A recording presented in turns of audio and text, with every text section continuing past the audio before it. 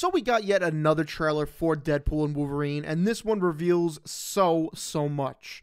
This trailer is titled Everyone, and I think the meaning behind it is the Deadpool Corps that we will see hints of in the trailer.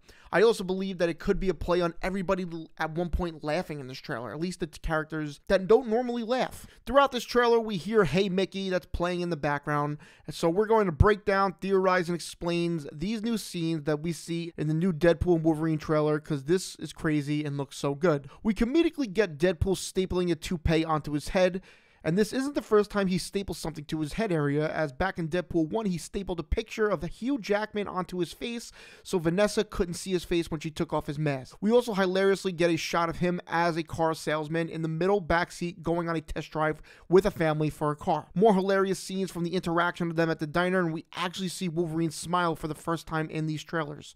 And here we go. We get the shot of Lady Deadpool's legs, but it actually expands on that going all the way up to the bottom of her hair. This is the most we've seen seen of her so far, and the theories are going wild from it being Blake Lively to even Ryan Reynolds in a wig. You could see her gloves, belt, hair, and the Uzis on her side, and these are the same Uzis that we saw earlier in one of the earlier trailers for the movie. And then we get a look that shows off Cowboy Deadpool, his boots, as well as his gun on his side. But interesting enough, in the background of this shot, I count four other Deadpools behind them, at least Deadpool's uniforms. So what that means, we've seen Lady Deadpool, Cowboy Deadpool, Dogpool, and four other possible Deadpool variants that will form the Deadpool Corps. We also get what looks to be the scene of Deadpool and Wolverine meeting Dogpool, who we find out here that she is a girl we see more of Wade's surprise party, and Wolverine meets Blind Al, which will be great. And I didn't even think of them meeting, but again, this will be a great interaction with them probably shit talking Wade Deadpool. Looks to be after the void because they have Dogpool, and Wolverine is wearing a sweatshirt over his suit, and they both are dirty.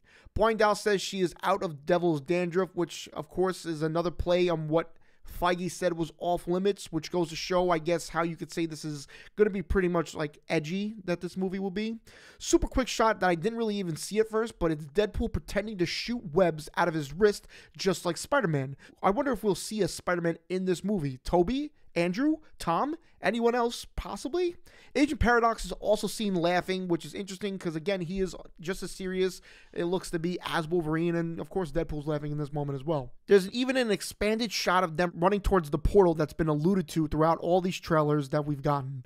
Deadpool and Wolverine both fall on top of a car that I assume is the place Deadpool works at in his kind of midlife crisis, where Kid asks if that's Deadpool. When Deadpool responds, Disney brought him back. They're gonna make him do this till he's 90. And it ends with the banter about the toupee, just like how it started. They were talking about or showing the toupee, and they're going to end with the toupee. So this trailer did reveal a lot. It revealed the Deadpool Corps. It revealed a Blind Al and Wolverine interaction. It revealed a lot to me, and I, you know, that just goes to show how much they're willing to show before the movie, and just how much will be in this movie that they're just comfortable showing so many of these different things. Let me know what you thought of this trailer. Let me know if you got tickets for the movie. Let me know if you're excited for it. Thanks for watching.